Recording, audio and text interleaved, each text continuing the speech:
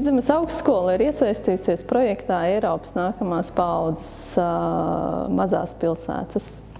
Un šis projekts Vidzemes augstskolai dot ļoti labu iespēju eksperimentēt gan ar tehnoloģijām, gan ar nākotnes pieejām studijām, un mēs jau skatāmies arī tālāk, kāds būs tas nākotnes uh, darba, darba vieta, darba uzņēmums un darba apstākļi. Līdz ar to mēs izvēlējāmies divas auditorijas, kur gribējām eksperimentēt. No vienas puses paskatīties, kas ir tā mūsu vide, kritiski izvērtēt, kādas ir auditorijas, kāda ir semināra telpas un atpūtas telpas, meklēt jaunus veidus iekārtojumam un piedāvāt studentiem to vidi tādu, kāda varētu būt nākotnē arī šī darba vide. Līdz ar to prioritāri ir tas, ka var strādāt grupās, var strādāt komandās, var strādāt uz vietas, var strādāt ar kolēģiem, kas ir attālināti kaut kur tepat Latvijā vai jebkurā citā pasaules valstī.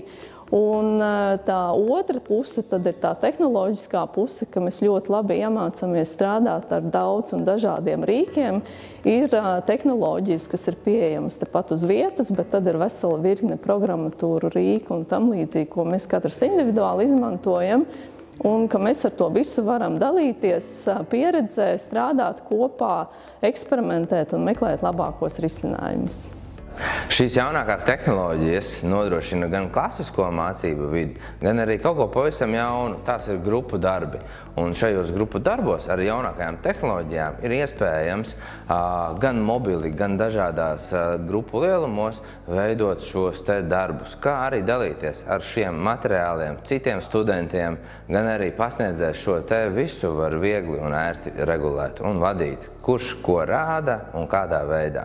Papildus vēl tas viss ir mobils risinājums, lai varētu uh, gan lielākas, gan mazākas grupas šīs te tehnoloģijas arī izmantot?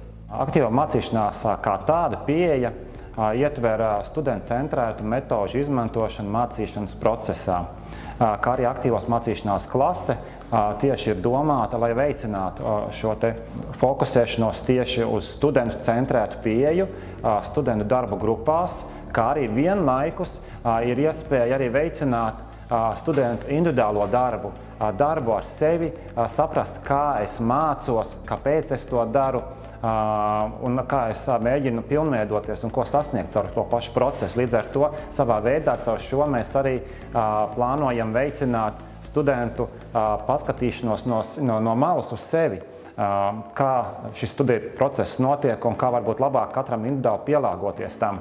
Kopumā mums ir ļoti liels darba apjoms. Plānojam iesaistīt arvien vairāk docētāju šajā procesā.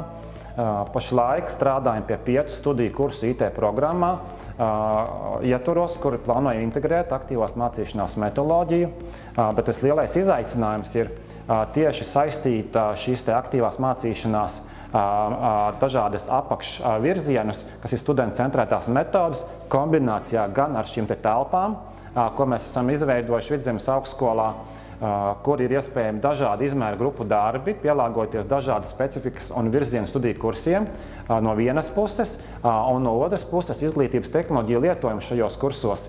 Un sadarbībā tieši arī dzen, ar programmatūru dažādu pielietojumu, plus vēl šī metodoloģija. Un tad ir tas izaicinājums no katra docētāja, kā es pielāgoju šīs dažādās un daudzās iespējas, kas mums tagad ir pieejamas šī projekta ietvaros, lai pielāgotu konkrētajam kursam, konkrētajam studiju šim te procesam, videi un arī docētājiem, jo arī docētājiem ir sava pieeja, kā šo kursu docēt. Līdz ar to esam liela izaicinājuma priekšā, esam jau daudz padarījuši, vēl daudz ko darīt. Esam ļoti gandarīti, kad mums ir šāda iespēja strādāt arī modernās telpās tagad. Un skatāmies uz priekšu, kā iesaistīt vairāk docētājus un arī studējošos šajā procesā.